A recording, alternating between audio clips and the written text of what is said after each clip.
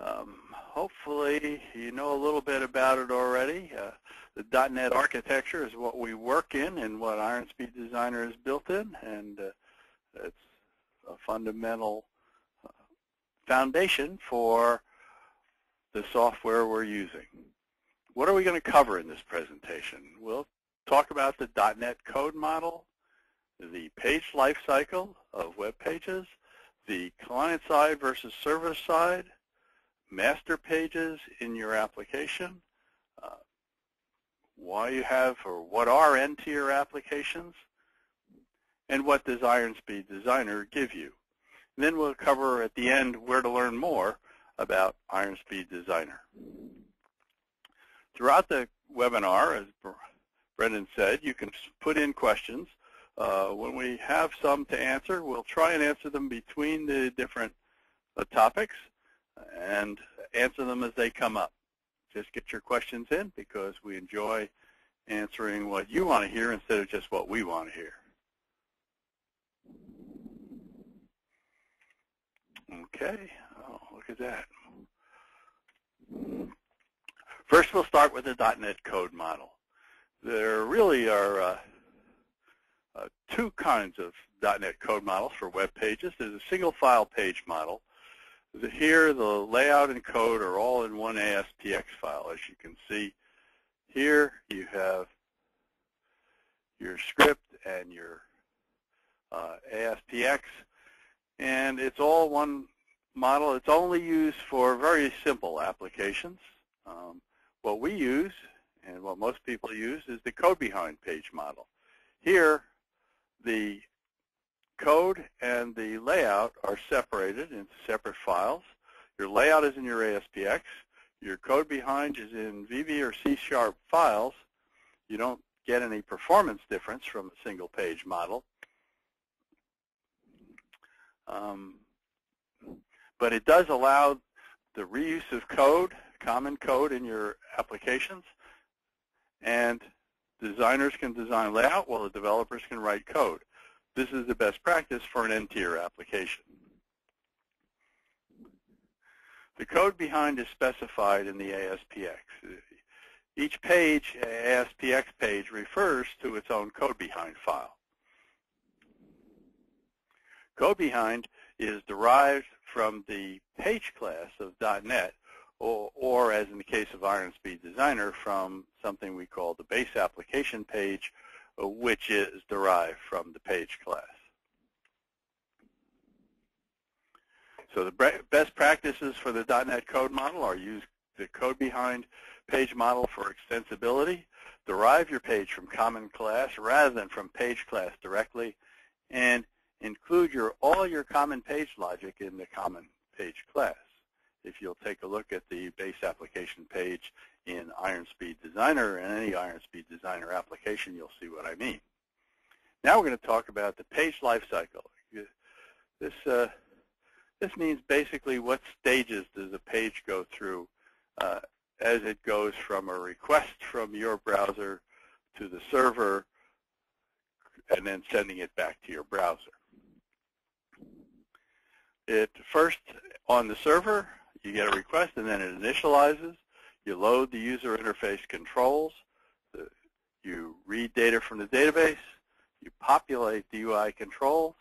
And then you render or display the page and send it to the browser. Later on, uh, when the page comes back, you can val you validate data, save data into the database, and redirect back to the calling page. .NET handles the loading of the page, converting ASPX controls to HTML, because you realize that all the ASPX, when a request comes in, the ASPX is processed and converted to pure HTML and then sent out in the final page that goes to the uh, user's browser. And the rendering of the controls on the page. What gives you the power to control the process is the events that are, ra are raised during the life cycle. And here, your event handling functions, the, mostly the ones put in by IronSpeed, but you can always program your own, uh, handle the various events, and allow you to perform your own customizations and code.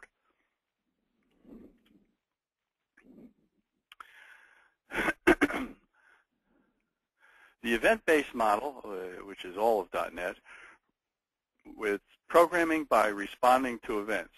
You write an event handler, and it's initiated and executed when that event occurs in the overall .NET framework. We have three main events in the uh, initial in the page display. First, you initialize the page. Uh, then you load the data from the database. Then you uh, pre-render is the name of the event, but you basically render all the contents of the page and send it to the browser. The calling hierarchy of a page, uh, this is a page with a record control that is a control which is displaying the contents of the record when, uh, and it goes through init, uh, which is, and then page init handlers. I won't read all these. They are there on the slide, and they're the names that are used in .NET. Uh, in particular, you should notice that most things handle happen during the load event. Uh, in page load, you have authorized, which is where security is monitored, and then you have the loading of the data and the binding of the fields, and finally the rendering of the page. After you display a page, the server releases the page instant. Nothing remains in the server about the page or the data. There, uh, there is no memory of what it sent out to you. Any state information in the page is therefore maintained by ViewState. ViewState is a .NET uh, function, it automatically stores values of controls in the view states and loads them back on a postback. Postback is when uh, a user's action causes the information that's on your page to be posted back to the server. An event is raised, your page instance is recreated, and the UI control is repopulated from the view state. And then your server-side event handler is called.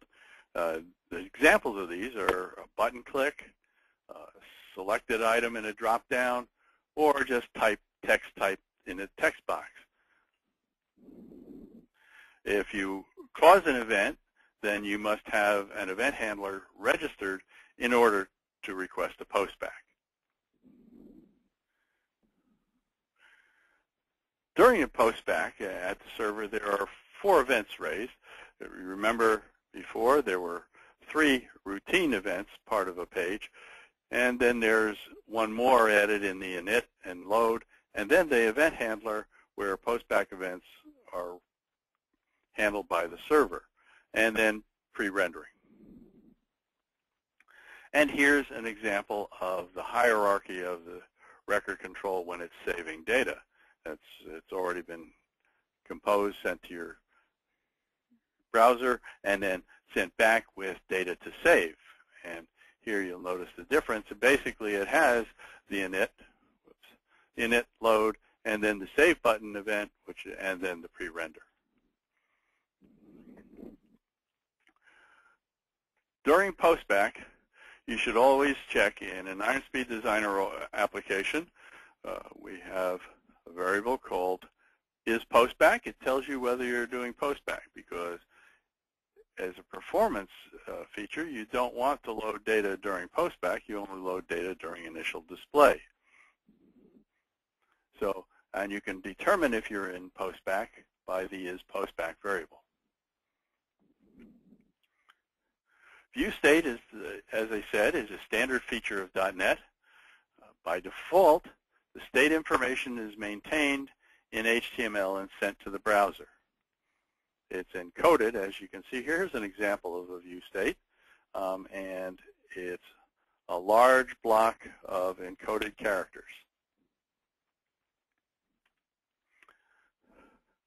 You can optionally, instead of including your view state with the page, you can have the view state maintained in this session or or in your in a cache or in a file or in a database. But there's additional work required for that. The session or cache can get timed out. Your file or database requires regular cleanup. Uh, so even though the view state bloats the page content, if you look at a page uh, that comes back, you'll see that the view state is a large blob of characters. Uh, but it's best to leave it uh, on the page because it functions best there. And the size penalty you pay is outweighed by the convenience of it. So the best practices for your page lifestyle, do most of the work by handling the load event. Um, and it should be used for only for initializing event handlers. And there's a, a caveat with that, that it is better to initialize handlers on the load event if you have any tab containers in your panels. Uh, then your pre-render should be only used to handle dependent controls. Uh, and turn that around and say if you have dependent controls, uh, you will probably put your events in the handle your events in the pre-render event uh, to check because everything has been rendered and ready to be rendered and you want to check whether or not you're going to change it. Then there's security for a page should be checked in load. If you'll recall, I showed you on the first uh, page hierarchy that the authorized event, which is what does the checking in an IronSpeed Designer application, is in the load event. And you use the page view state even though it sends a lot of data to the browser.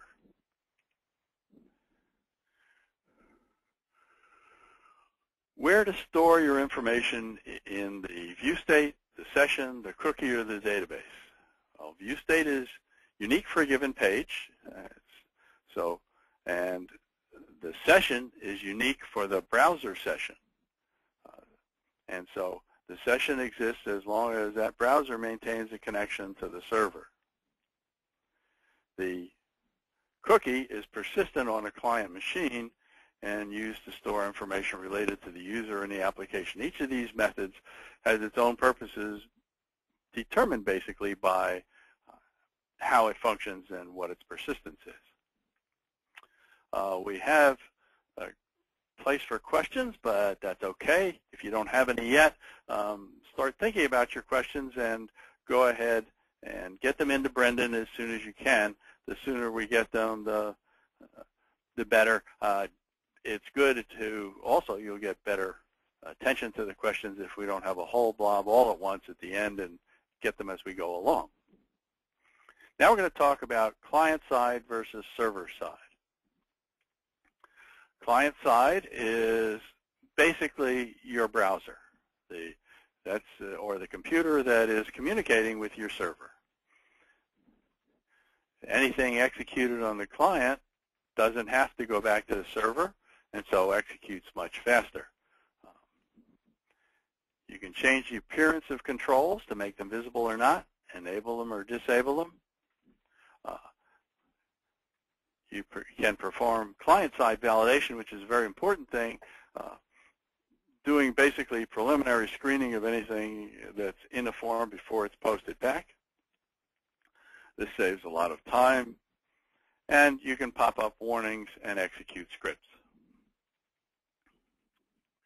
The important thing about client-side is that the scripts need to be loaded with a page load or postback so that they're executed on the later on the client side. The server side executes, of course, out the server and sends the data back to the client's browser. This is either in the form of a, a full page request or as an AJAX in the form of uh, XML data. Has It has access to the data access layer and the business layer of your application. Uh, it has the full application and programming environment and uh, software environment there. It's strongly typed and allows you to use classes, the .NET classes. Of course, this is a .NET environment running in the uh, web server. It executes after client side. Uh, that is, client side determines uh, basically if you're uh, going to allow the request to continue or whether it's aborted and then after you, or makes any adjustments then uh, after your client side executes, it's sent to the server and then the server side executes. You load your script to the client side to have them executed on the next uh, load or postback. The order of execution, first you do page load, and then you do page postback. Now this is uh, viewed from your uh, in your application. You'll always see the first the page that's loaded with its data, and then if there are any modifications to it or any changes, uh, any redirection, uh, that causes a postback, and the server sees the page again when it's posted back. Ajax has become very popular uh, among .NET applications uh, for very good reasons. Uh, using Ajax Update Panel in .NET, it creates fast and flicker-free updates. It's extremely simple to implement. You surround your ASP controls with an update panel control. Here you see an example. And then only the content that has changed is sent back. The browser only paints, and the browser, when it receives the reply, paints only the changed content. You can have multiple or nested update panels, uh, and the code behind doesn't change when you're using Ajax. The code behind is still the same. You can show your progress in Ajax using an update progress control, and you use an animated uh, GIF image to show that.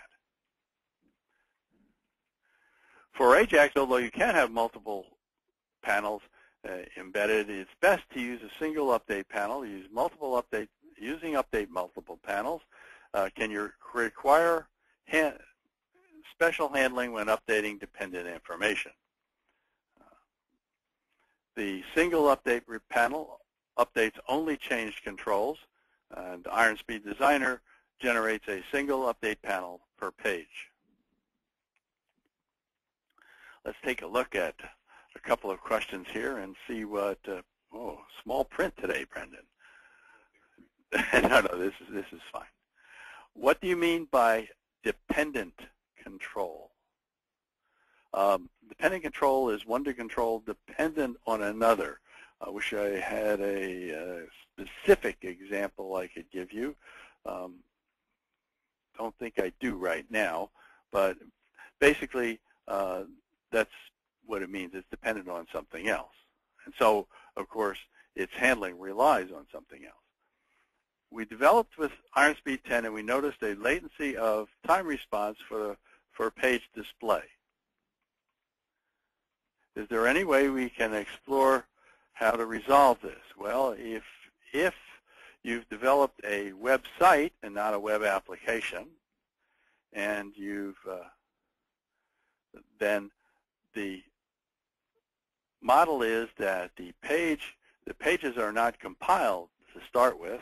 The just-in-time compiler of .NET takes the pages and compiles them when they first are requested. And with a website, that means that the very first page that a, that a particular session encounters will compile many parts of the page, the preliminaries, the scripts, any uh, code that it has to use right away. And so there's always a delay on the very first page, and then other pages uh, are handled quite rapidly. I don't know if that's what you're experiencing, but that's usually uh, where this type of question comes from. Does ISD use Ajax when generating an application? Yeah, unless you turn off Update Panel, and you can do that in the application generation options, uh, yes, IronSpeed Designer uses Update Panel and gives you an Ajax page. Now let's talk about master pages, a very important feature of .NET. Um, I remember .NET before there were master pages and everybody was always screaming for something like them for good reason. The master pages create a consistent layout. They uh, centralize your common functionality, and they make it much easier to maintain. Basically, the idea of a master page is that there is a uh, a single template, a master, with a place for the content, and every page uses the master page, usually uh, as the surrounding elements of all your pages.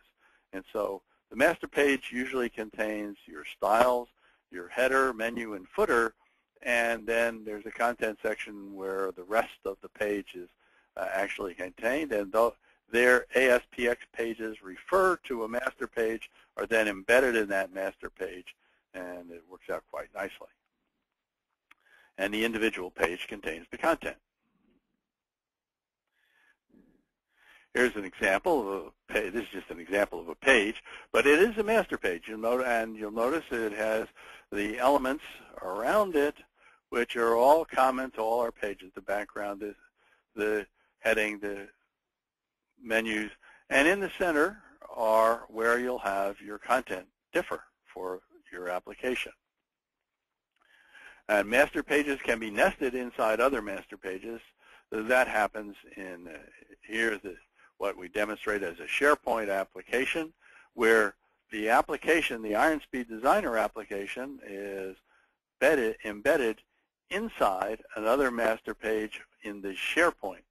So you have your SharePoint, uh, and inside of that is another master page for the IronSpeed Designer application. .NET takes care of merging your master pages with your page content. Uh, and so the master page can inherit from other master pages. Um, I don't recall that we do that, but it can, can happen. In your master pages, the best practice we've observed is to create multiple master pages for different needs. Perhaps you have couple of sections of your application where you want them to be slightly different. It's very easy to create multiple master pages and then uh, to one section of your application you assign uh, one set of the one master page and to the other one you assign the other master page, therefore giving them subtle differences and keeping your application uh, still consistent but uh, providing the look that you want. You can nest master pages as if you need to. Um, you include, normally you wouldn't do that, but uh, there may come a place where you have to have one master page and then you want to put another uh, whole master page set of pages inside it, and so you can they can be nested. Uh, you include all your CSS styles, JavaScript, etc. in your master pages and not in your content. Keep the page content focused on the actual data of your page. Let's see if we've got a question here. Will IronSpeed support MVC4 in the future? That's uh, depending on how you interpret MVC4, uh, it's Model View Controller. Um, IronSpeed Designer is already a Model View Controller, but in it, in the abstract sense and not in the sense of following anybody else's particular model. IronSpeed Designer was developed before that was around, and so it presents its own MVC model. It's, so you'll recognize it abstractly as an MVC application, but it does not follow the particular conventions of any MVC uh, framework that's put out by Microsoft or anybody else. There are subtle differences, which means Microsoft, uh, Microsoft MVC4 application uses different details than an IronSpeed Designer application. Can I put security things at master page level? Uh, can I get the user role as using code in the master page? Um, somebody else may be able to tell me why. I, generally, I think that's not a good idea, um, and that your pages should uh, handle the security individually, but I don't know that 100%. Uh, that's just the feeling I have. We don't do it that way. Um, but, uh, and actually, um, sure, I can tell you why. Because security is about um, processing your pages. The master page is about the, the layout and view of your pages. And there, uh, that doesn't involve security at all.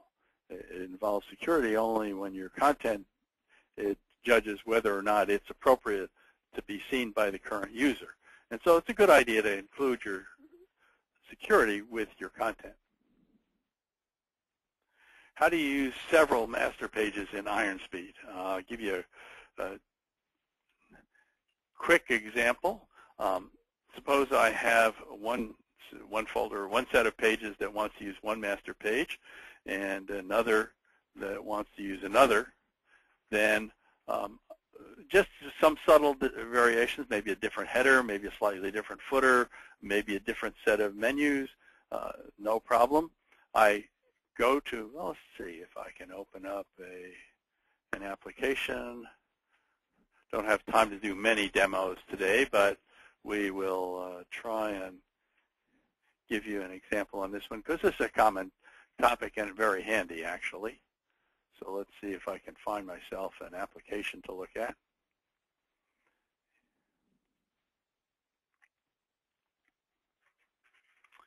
Because here, so here we have an application based on the Southwind database, so order entry application, which you can find in our sample apps on our website at uh, as Acme OMS or the um, Acme order entry.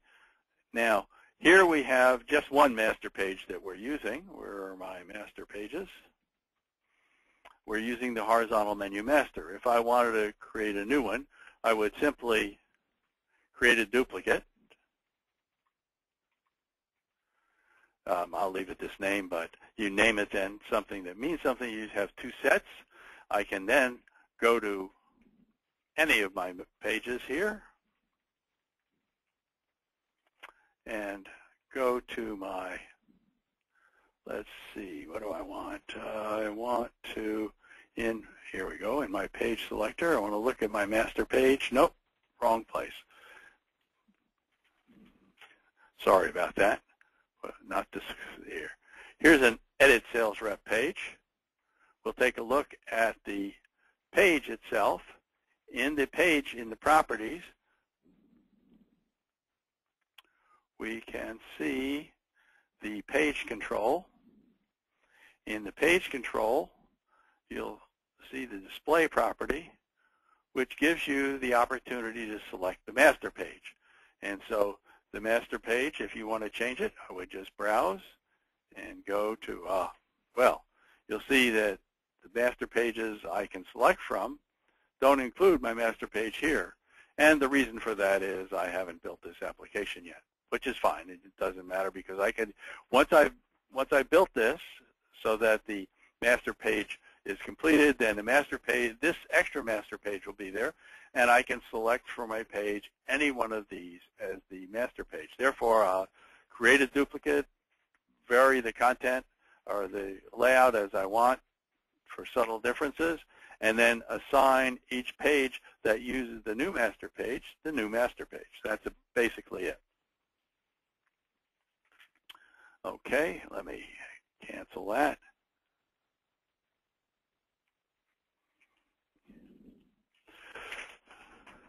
Do we need Microsoft Visual Studio if we use IronSpeed? Uh, you don't need it.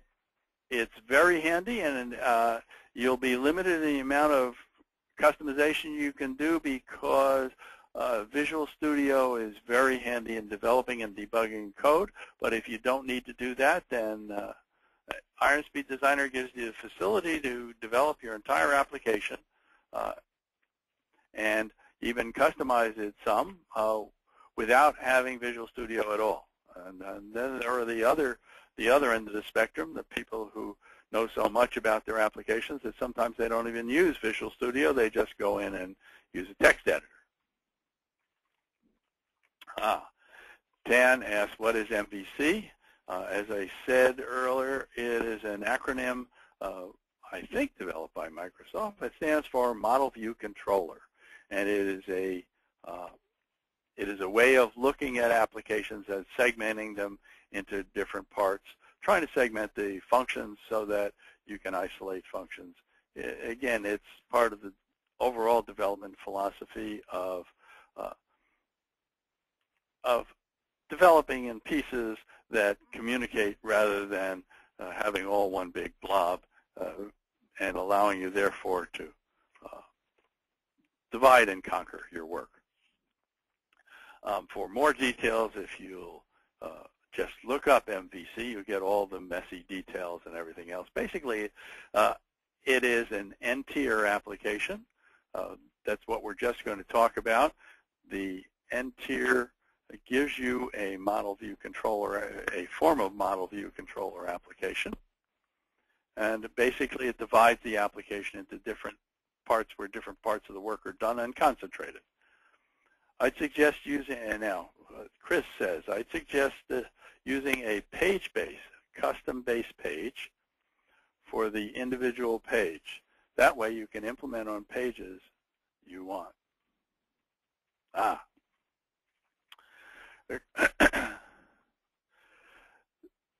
Chris is, uh, let me see if I got you right, Chris. I think it, a custom base page, remember I mentioned that we all inherit from the .NET page class, but we but in IronSpeed you have a base application page that inherits from the page class and that all IronSpeed designer app, uh, parts of the application inherit from the code. And that gives you the opportunity, as Chris mentioned here, if you have a custom base page, you can put other things in that and they immediately are available to all your pages. It's, it's the code equivalent of the layout master page. Remember, master pages are for layout. The custom base pages are for code, and yes, that works fine.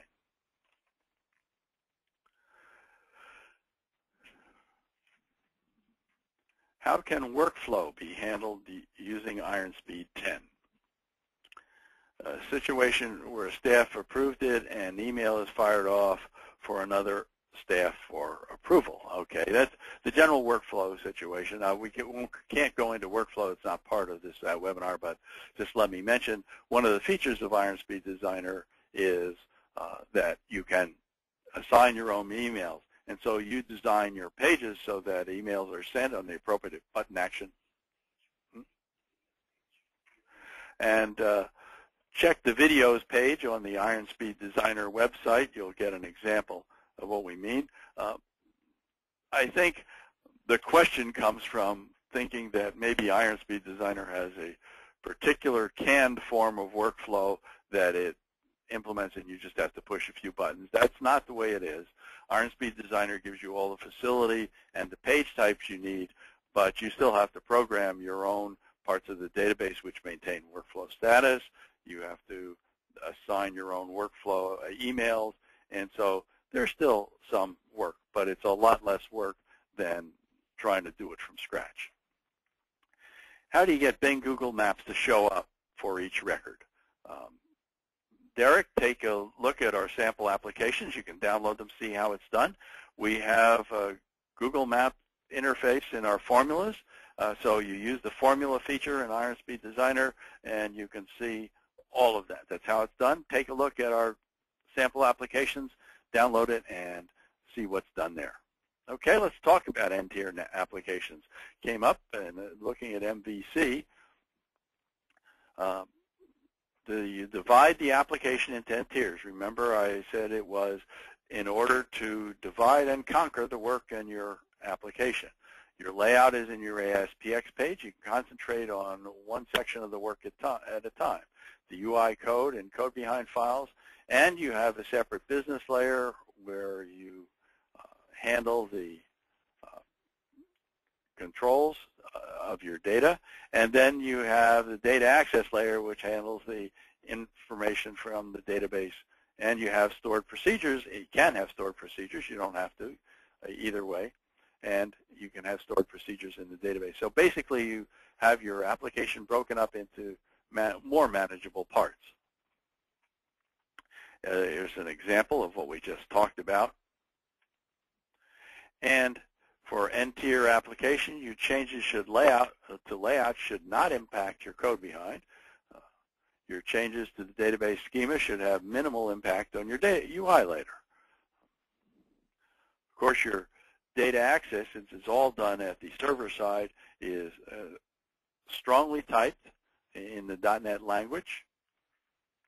Your paging should be done in the database and not in memory. What that means is if you're paging through a long table and you're looking at a few records at a time, you don't want to send all those records to, into your application. You want to have the application use the SQL, which creates the, gets you the, just the records you need. Uh, and you don't want to do that in memory. The ASP grid view control and list view control do paging in memory, and so uh, that's why we don't use them we have our own table controls and record controls. And uh, as you might suspect, concurrency handling is important in highly asynchronous applications. So now we've gone through basically uh, the features of a .NET application. Let's look at IronSpeed Designer. IronSpeed Designer implements the best practices for your .NET code model, your page lifecycle, your AJAX, and your master pages and your N-tier applications. Um, that's what we're doing here at IronSpeed. We provide the tool to create applications so that we can incorporate into them best practices um, as, and best ideas as they become known so that they are available to everybody. Everybody doesn't have to learn about everything all the time. You can use, build on your Iron Speed Designer application and let us do a lot of the legwork and the uh, simple work that goes on behind. You can focus on the uh, complicated design or uh, sophisticated design work that's unique to your particular application. It lets you focus on your business logic and you use the .NET code model to extend your application. Lay in layout customizations, uh, you use the spreadsheet grid. Um, I don't, let's see, we should take a look at this. This is part of actually Getting Started webinar, which we do every Friday, teaches you about the parts of IronSpeed Designer. So we're going to go ahead, uh, and we're talking here about the grid view, but I'm going to assume that you already know about the basic parts of IronSpeed Designer because that's what we do in getting started. Uh, so we use the grid. You can copy, paste, and move. Your layout is very easy to arrange. You can uh, change your appearance, modify styles. All these are techniques which are very handy and very easy to control. Uh, use the cell editor and code editor so you can include everything else in IronSpeed Designer.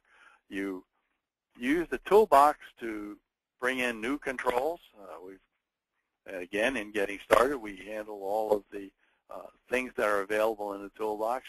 You can easily pre-configure your panels and controls to make them do exactly what you want. And you have the formula feature in IronSpeed Designer, which allows you to use Excel-like formulas to provide content for your page. You can customize your data access layer, um, and let's just look at that in our IronSpeed Designer. You'll notice here in the Application Explorer we have our application. We also have a business layer and the data access layer. And this contains all of the uh, data access that we asked for to be used. You can customize those because, let's see, use Excel, use formulas on the data access layer, you your global settings and batch operations. You can control using uh, the BMW feature. That's not a car. That stands for Batchmeister Wizard, and it's uh, a very handy feature of IronSpeed Designer, which allows you to pre-configure uh, application-wide features in your database. Here, let's take a look at that since we don't really cover that in getting started. Is it in Build or Tools? Batchmeister Wizard. The Batchmeister wizard allows you to control initialization with standard formulas. Uh, these formulas are added to your business layer so that controls with certain names uh, can be assumed to be initialized uh, and handled unique or in common throughout the application wherever they occur. It can, you can add your own validation controls also. And you can have custom where clauses. Once you do, if you check any of these, then those formulas are added to your application and occur in your business layer, and so they occur throughout your application everywhere uh, the elements of the controls are handled. Um, again, with anything in IronSpeed Designer, once you're pointed to it, then be sure to check up on the online documentation for that feature so that you can become familiar with what you need to do. And so Batchmeister Wizard gives you one sort of global control, and there's the other one that we have in IronSpeed Designer, which is to use the application generation options to control how uh, pages are built, uh, how they lay it out, and how they're controlled. You can go to the application generation options in your IronSpeed Designer, again available in the Tools menu while you're looking at an application, and go through and see the things that can be controlled in your application. There are applica application options for the web pages and for the mobile pages. There are different sets of options, and uh, then there's the rest of the titles. You can go through them yourself, but it's very important to know what they are if you want to take advantage of the facilities. Let's see uh, if I was one uh, was looking at the other day. Uh, the parts labeled common page options are particularly interesting. A person asked us the other day about uh, why his name, uh, he had a large table name on an application. He says, why is it uh, truncated? and the answer to that is lays in the maximum name width feature of the application generation options. The idea is that just to prevent sort of the outlying situation where one name makes your whole application, throws your whole application page off, we limit, put some limits on what the maximum width of names can be. Um, you can change that. We don't stick you with that. If you want it to be 100 characters and allow a particular name to be very long, you can do that. Uh, you just have to know where the option is. And so that's that's the idea of application generation options. That's just one out of the hundreds that are available that allow you to control individually your application.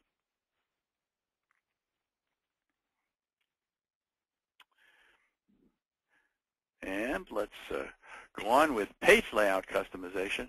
In page layout customization, uh, you can modify the contents of page with drag and drop. You convert your page layout to ASPX. You don't have to know ASPX or HTML. And the cell editor allows you to modify the contents of cells and further control what's displayed on your page. Uh, there is the toolbox control. And even though I cover this in the Getting Started webinar, um, we should probably take a look at the toolbox because it's very important. Uh, we'll put aside the property sheet and get the toolbox now. And talk about the sections. Of course, the section for headers, footers, and menus is the standard headers, footers, and menus that are available in case you haven't gotten them. Usually when you create new pages, they come with headers and footers, and you don't have to worry about it. But if you have a completely blank page, you can drop in your own headers, footers, menus, etc. But this is not used that often that I'm aware of. What is used often is the reports and forms. Here is where you have access to all of the data-backed panels that you can use on your pages.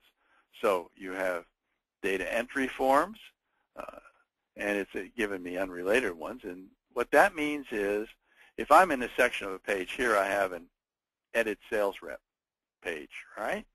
So we'll look in here, we have a sales rep control, and then we have some table controls, which are the child controls of this table control.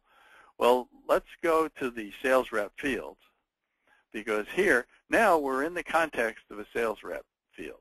And so some of the elements, some of the tables are related, and some of them are not. And that's what related and unrelated means. But in any event, you can choose either related or unrelated. Uh, and the important part about related is when you drop a panel for one into your control, this is not a good place, but it illustrates the point. You get the panel and you can choose whether you want to add a table, edit table, add record, edit record, etc. You can choose the options that apply to it. You can choose the fields that you'll see in it. You can choose which forms of search the panel will provide, which form of filters it will provide, and any totals it will have in it, all those details. And then when you finish, you get another panel contained in your page. But this panel is related to the sales rep of this record, the sales rep ID. And so, and so we'll only show that. And that's what we mean by related panels. Unrelated panels don't have any relationship, and so the filter, uh, the let's build this, and I'll show you what I mean. The data source for it is not controlled by anything else. Am I'm on finish. And now we look at the data sources on our page. Orders table control query 1, that's this one, the one we just built. And we'll look at the where clause, and we see that the only records it will show are the orders where the sales rep ID is equal to sales rep ID of the record we're looking. And that's what we mean by a dependent record. Okay, uh, let's see. Well, uh, we're still going through, and I still have time, so we're going through our toolbox. The charts section of the toolbox uh, gives you charts, and it also gives you uh, charts of count, sum, and average. Uh, you can use all these charts to enhance the display of your data in your pages. This is a very, very valuable uh, set of tools, and you should use it when you have the data which warrants it. Um, you can use the toolbox to drop in any fields, including aggregate fields, which are uh, can be a big help sometimes. So we have sum, average, minimum, etc. Um, there is a whole section for using filters, which now doesn't show anything because I'm not in a filter section. But if I go to a filter section of my page, and let's see what I've got. I, oh, uh, first of all, let me get rid of this because I certainly don't need this control. And in my sales rep record control, uh, won't have filters. Here we have buttons, we have filters for the orders table control. Here in a filter section, you can add many other filters for your records. And so you can enhance the filters using the filter section. Here are standard buttons that can go with the page, reset, go search, but you can make your own buttons also. These are the standard already configured buttons, usually just a few. Here, this other section on ASPX and other controls is what you need for all the general ASPX, AJAX controls, everything that you need to add to your, or might need to add to your application. So that's the toolbox, a very important feature of IronSpeed Designer. The formula language, uh, and let me show you what formula language means in case you don't know.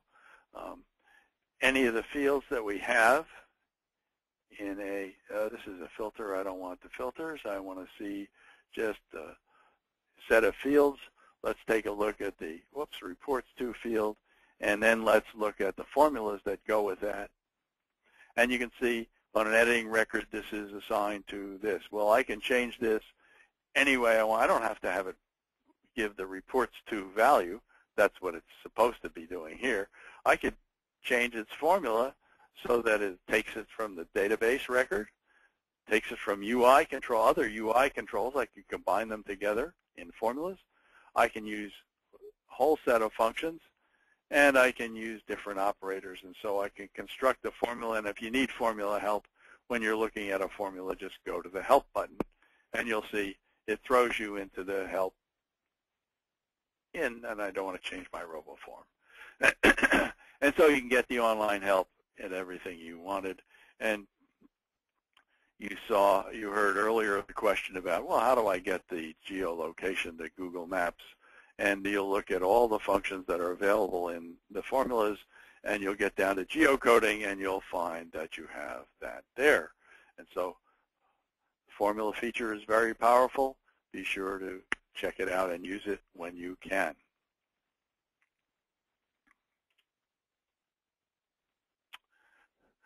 So the key questions you, we like to suggest that you ask yourself when considering Iron Speed Designer and the .NET model and constructing applications built on the .NET model is what is your time worth and what's the ROI you get out of Iron Speed Designer? Uh, when you match up those questions, uh, I think we showed you that you can get tremendous savings in time and so the return on investment it can be substantial. You don't have to do ASPX. You don't have to know code. For most applications, your interaction with the actual ASPX and code is minimal. Of course, Iron Speed Designer allows you to customize everything and uh, and becomes a different form of tool for those developers who know what they're doing and use it to develop, uh, do a lot of the standard work behind the scenes and then build on top of it. Let's take a look at the couple more questions. Uh, a little off topic. Okay, well, if it's, we'll see how far off topic. like to know how to have different size, heights, show, edit, or table controls for use on different pages is required to customize appearance. I see how to change the number of default rows, but I'm referring to the container size itself. the container, probably worth mentioning, the container size itself is part of customizing the look of an Iron Speed de Designer application, which is controlled in the themes by your CSS. All of your application uh, is controlled first by your page style, and it, within that page style by the themes that you have, or sorry, the uh, CSS that you use. All of uh, an Iron Speed Designer's CSS is controlled in the base styles file. Here you see the all of the CSS, and you'll see there's a whole lot that controls your application. And I talked about saving time, and uh, I look at this CSS constantly, and uh, not constantly, but every once in a while say, man, just developing that CSS would take me 100 years, and so I'm glad I used my Iron Speed Designer application. Uh, but it also involves understanding what's in it. And so for that point, you, uh, of course, the browsers these days are much better. Uh, Firefox, Chrome, uh, IE, all have debugging modes which allow you to see the underlying CSS, and they're uh, don't overlook them because they're very handy for generating or for looking and seeing where your page is, seeing what CSS is being used.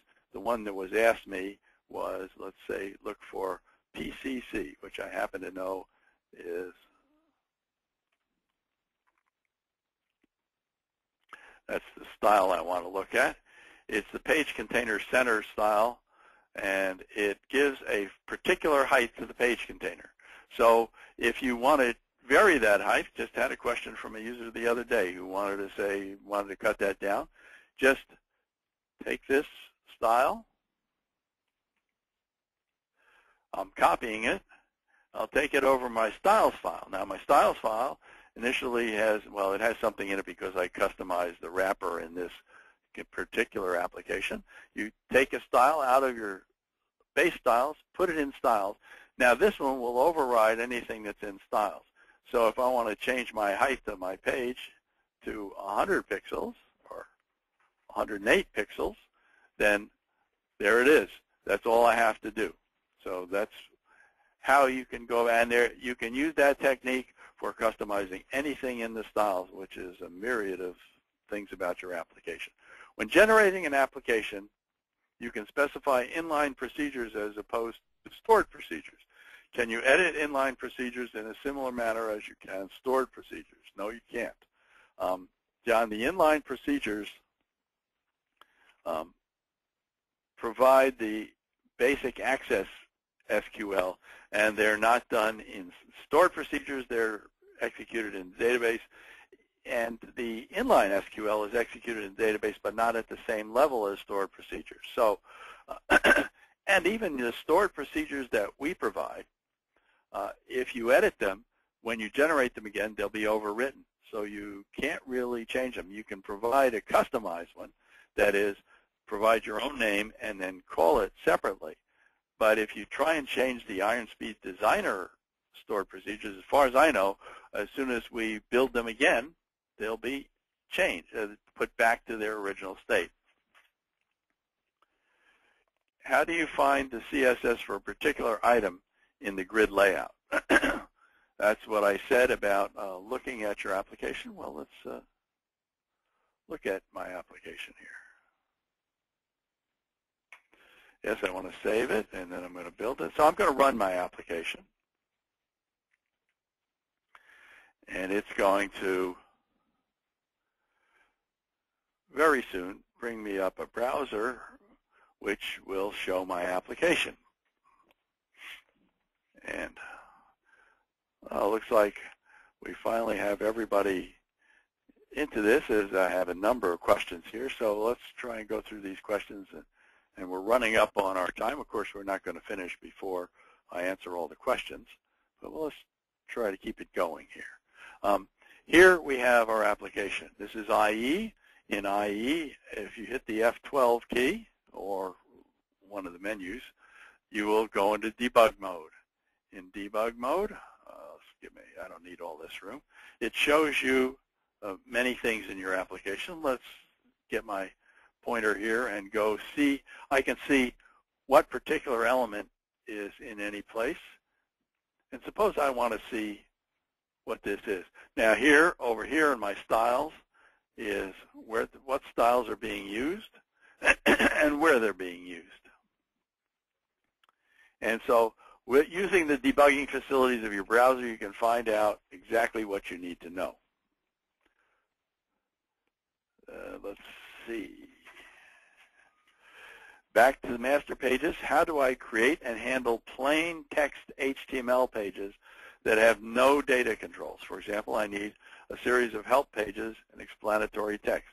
Um, you handle them, uh, I would guess, Chris, with a any any editor, text editor. If you have pages, just plain pages, they can be included in in your IronSpeed Designer application. You put them in a separate folder, which is usually a good idea, not in the same folders with the ASPX pages for IronSpeed, but they could be, because IronSpeed Designer will leave them alone and they will be exactly as you present them. You can link to them, you can show them, and they can have links back to your pages. So there's no no problem with having mixed pages, the pages you do manually. Does Crystal Reports come with with or install? Uh, Crystal Reports isn't installed by IronSpeed Designer. Crystal Reports, um, actually, I don't know. I think it's part of Visual Studio, but I'm not sure. Any in any event, we do have a code customization, which allows you to use Crystal reports, uh, and you can use it from there. I don't know what the particular licensing constraints are the Crystal reports that you can use. How is an edit table form added as another tab in an existing tab control? This is a question that comes up all the time, and it's something that uh, confounds people no end. And so let's take a look at this. Well, this is our application, but what I want to do is go to my sales reps because I was looking at my edit sales reps table. And you'll notice that in our edit, let's look at the whole page structure. We see we have a whole bunch of um, child tables. These tables, all in tab panels. So if I look at, this is an editing a sales rep. So if we look at editing a sales rep, right, let's go to a sales rep and edit it. And here's the page we're looking at. It has the edit record, and then it has all these table control, uh, all these tabbed containers. So you want to add something. You want to add another thing here. Okay, let's go to our editor. The first thing you do is remove the tabs.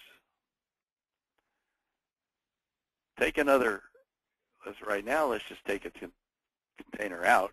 But the idea would be I would take another, I would drop another container, a tab, table from the um, reports, forms, and sums, add what I wanted in over here, put it in underneath here, right-click, and choose Insert Tabs, and then I have my tabs back. Now, if I want, I can mess with the naming of the tabs and stuff, but that's I don't think that's necessary because let's see what happens if I rebuild this page and go back to my sales rep. And now we'll refresh the page.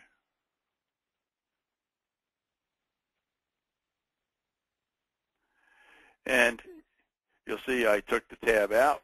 Whoops, there it goes. I took the tab out and I put it back in and there are what I have. So um, that's how you handle the tabs. At least the best way I found to do it. Can you add a join to a data source query? No, you cannot. Um, we used to have a thing called custom queries, and it was uh, it was taking on too much of the database's role and providing a lot of extra complications. So we don't allow you to create your own custom queries. We like to focus on Iron Speed Designer as a page creation tool and use the database as your uh, query selection tool. So for that, if you want to do joins, do them. Of course, you can do joins with uh, your initial selection, but once a query is selected in Iron Speed Designer, then you can't treat it as just another query and change the whole SQL of it. Um, if you want to do that, you have to create a new one with a new data source.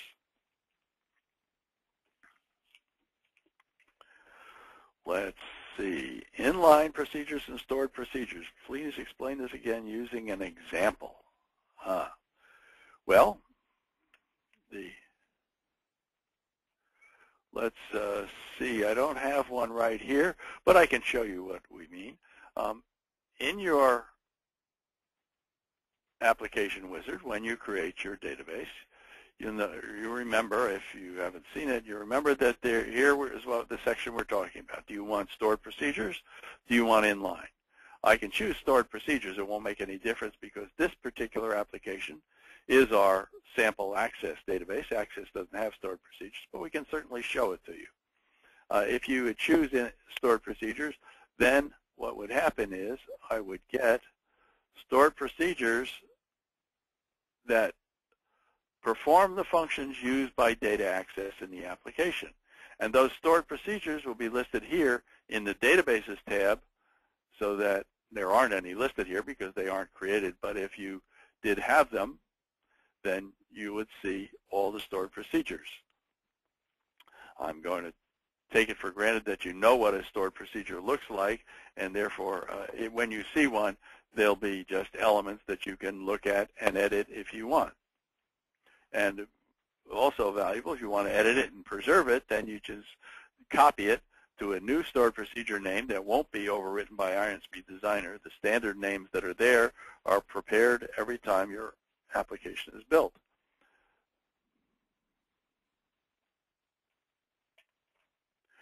There's, do I have to have a, a, an instance of Iron Speed Designer executing for each app when using multiple apps?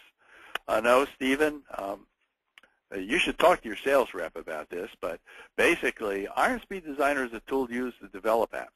And so you develop as many apps as you want. Those apps run themselves, uh, don't require Iron Speed Designer to run. Uh, that's one of the great features of Iron Speed Designer. It is really a true tool, and we don't have extra licensing associated with it. We don't. It doesn't cost you extra or anything else.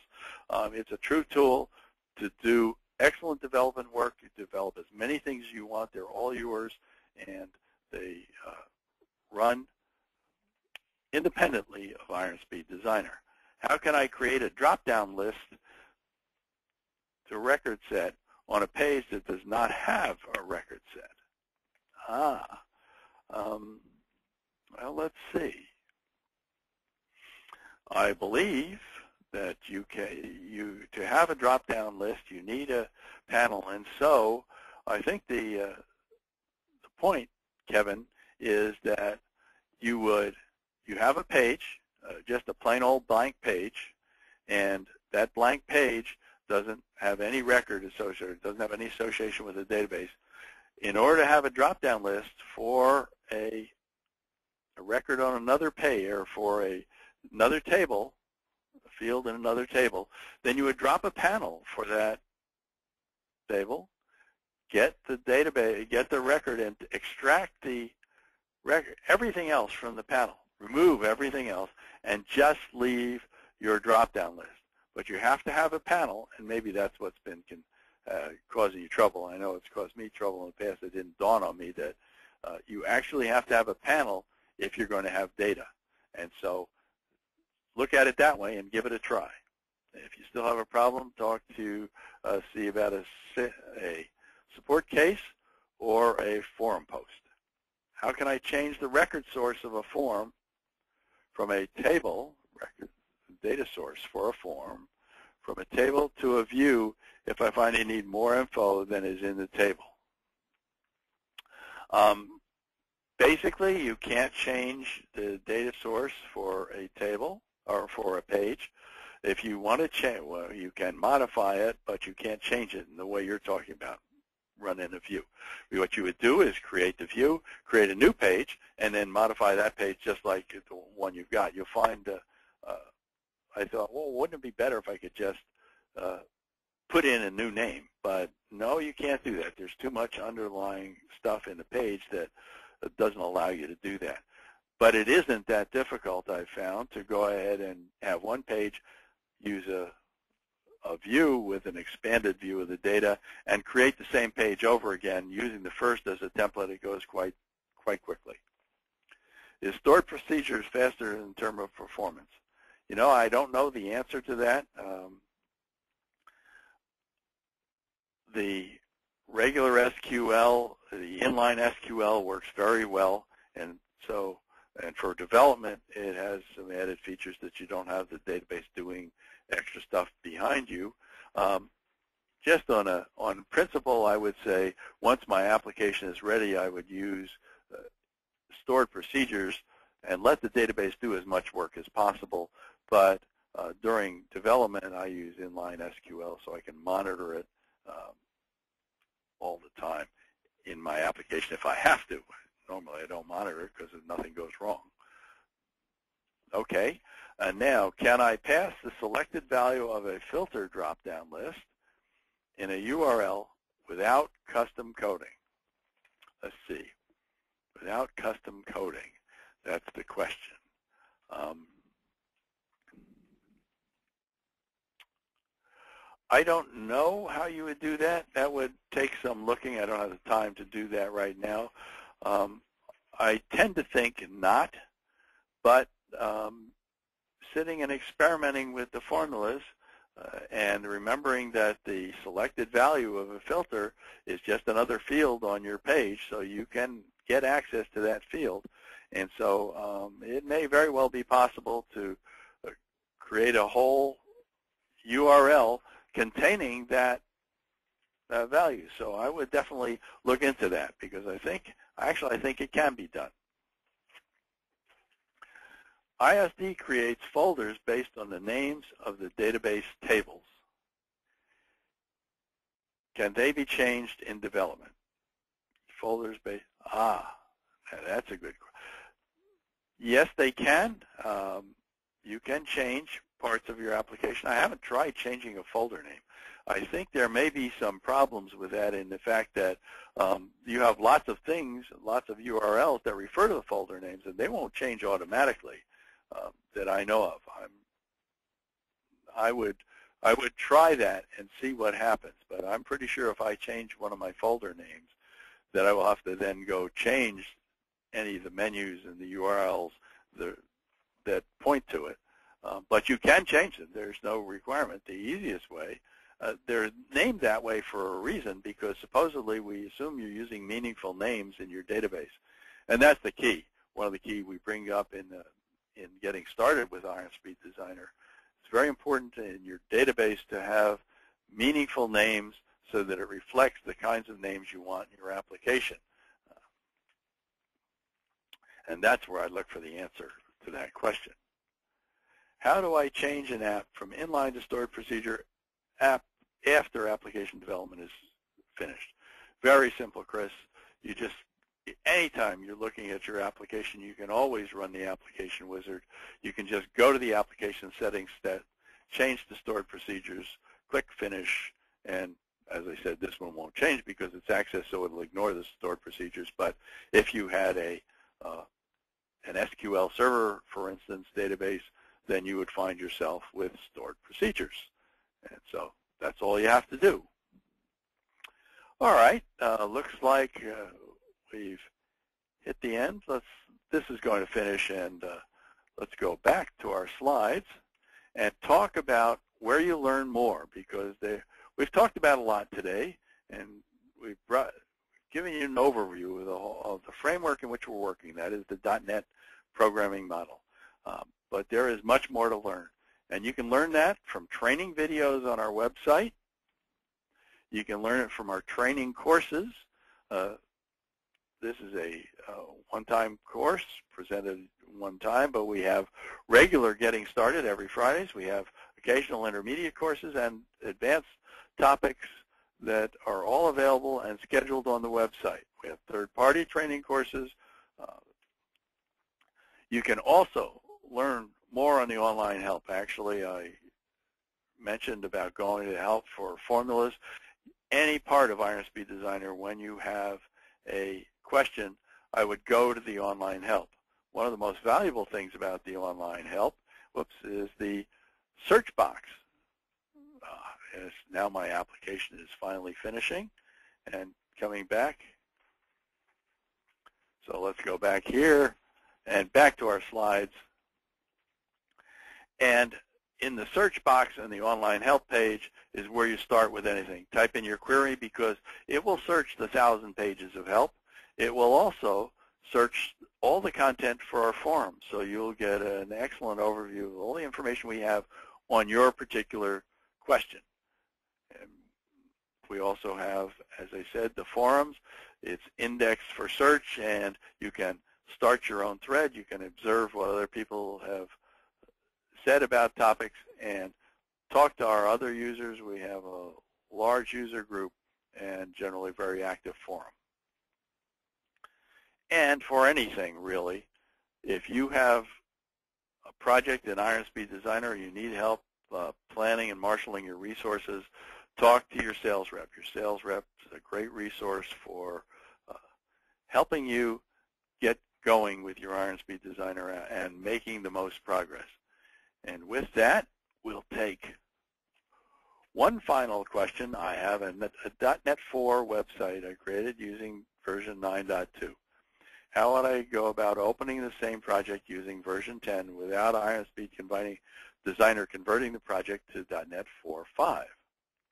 Well, Iron Speed Designer version 10 doesn't require 4.5. It handles 4.5. I want the version to remain 4.0. So as far as I know, you can open it in version 10. It will ask you to convert the application to Iron Speed Designer 10, and it will be uh, converted to 10, but your .NET framework will remain 4.0.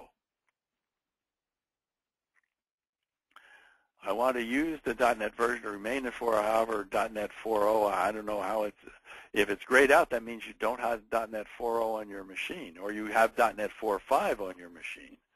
Um, in any event, if you have an application that's already created, you don't have to change it. So don't change that in the application wizard.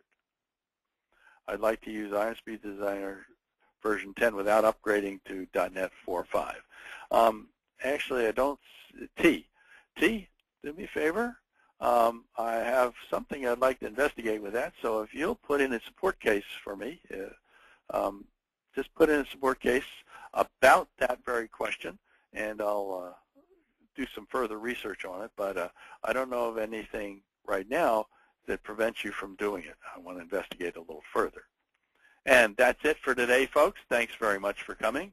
Um, hope you got as much as you wanted out of the webinar. There's always more to get, and so come back again and see us often. And have fun with your Iron Speed Designer.